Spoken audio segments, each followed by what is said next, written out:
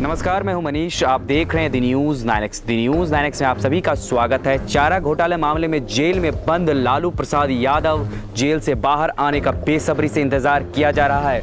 RJD के कई नेता और समर्थक इसके लिए भगवान से प्रार्थना भी कर रहे हैं। दरअसल, लालू कुनबे को बखूबी पता है कि उनकी पार्टी और बिहार की राजनीति में उनका कितना महत्व है आरजेडी का पूरा कुनवा इस उम्मीद में है कि कम से कम चुनाव से पहले जेल की सलाखों से बाहर आ जाएँ। आरजेडी के नेताओं का मानना है कि लालू यादव बिहार की राजनीति में वो करिश्माई चेहरा है जो चुनाव प्रचार से दूर रहकर भी केवल जेल के सलाखों से बाहर आ जाएँ तो विरोधियों पर भारी पड़ सकते हैं वे ये भी जानते हैं कि लालू के घर वापसी से आरजेडी का माई समीकरण, यानी मुस्लिम यादव समीकरण, और ज़्यादा मज़बूत हो जाएगा। साथ ही पिछड़ों की गोलबंदी जोरदार तरीके से हो जाएगी। ज़ाहिर है कि लालू की घर वापसी संजीवनी का काम करेगी।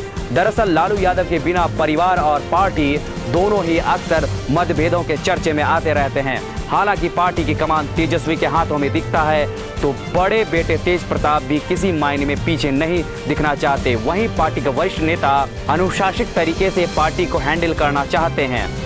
लेकिन फिर भी आपस में तालमेल नहीं बैठ पाता। इससे देखते हुए पार्टी के नेताओं को लालू यादव की कमी खलती है और जल्द से जल्द लालू जेल से बाहर आ जाएँ।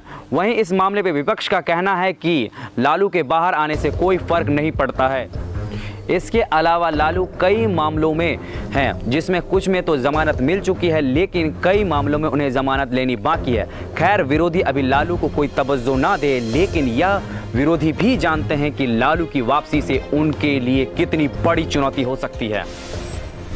लालू यादव से जुड़ी हुई खबरों के लिए हमारे साथ जुड़े रहें। अगर आप हमारे वीडियो फेसबुक पे देख रहे हैं तो फेसबुक पेज लाइक करें। अगर आप हमारे वीडियो यूट्यूब पर देख रहे हैं तो यूट्यूब चैनल सब्सक्राइब करना ना भूलें। शुक्रिया।